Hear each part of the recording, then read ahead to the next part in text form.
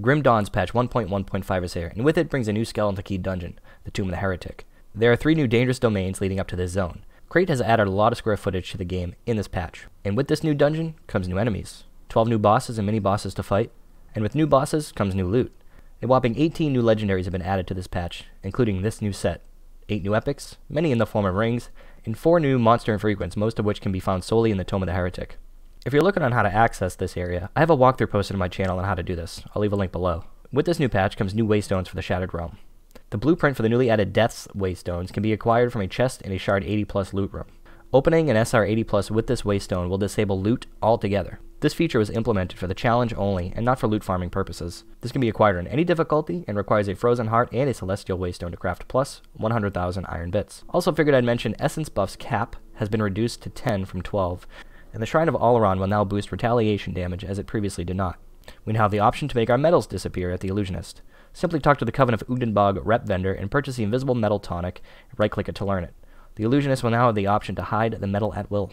Owners of the Loyalist 2-pack will be happy to find a new illusion set has been added to the game, called the Great Wolf. A very Skyrim-looking set with a tattooed torso, very unique. You can acquire this by speaking to Lancel the Knight in Devil's Crossing and asking him about the Northern Lands. He will then give you an item and you can right-click it and learn this illusion. There was a bit of an annoying glitch before this patch where lengthy crafting lists would get stuck halfway near the bottom. This has been kind of fixed. If you see this, you can now press the scroll down arrow and see the last item below. But these windows are still kind of a nightmare if you have a lot of items, if you ask me. Please fix it.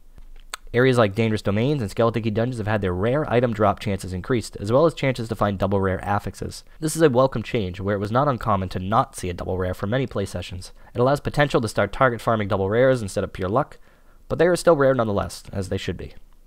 Now on to the meat and potatoes of this patch. There have been over 6,000 database changes to items. Most of, if not every epic item in the game has changed somehow across all levels. In addition to epic items, most rare item affixes have also undergone changes.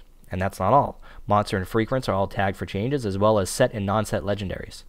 The intent with these modifications was to get the neglected items and affixes back up to date. And now we'll go through each item here one by one. I'm just kidding. Crate themselves even said there are way too many to list individually. Grimtools.com item database has done an outstanding job with patch to patch item change comparison right in their front page in the past.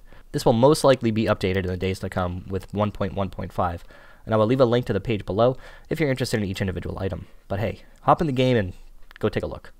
Aside from item changes, we have some crafting tweaks as well. There have been a decent amount of reductions to crafting some components, like reducing the amount of battered shells required to craft serrated shells and stuff like this. 21 devotions have also undergone changes. Most seem like buffs, with things like Guardian's Gaze having attack damage percentage increased and now having attack damage converted to health added. It wouldn't be a patch without class changes. Six of the nine classes are getting some form of small tweak, with Inquisitor seeing the majority of the changes this patch. RIP. I realize there are other things I missed, such as Crucible changes, some faction changes, other game and tech issue fixes, and more. This is one hefty patch, and I cherry picked some of the biggest adds and exciting changes. I will leave a link below to the official patch notes. I think everyone should take a peek, as well as some other resources in the description for longer explanations of the changes. Thank you very much, and please subscribe for more content if you like this sort of thing.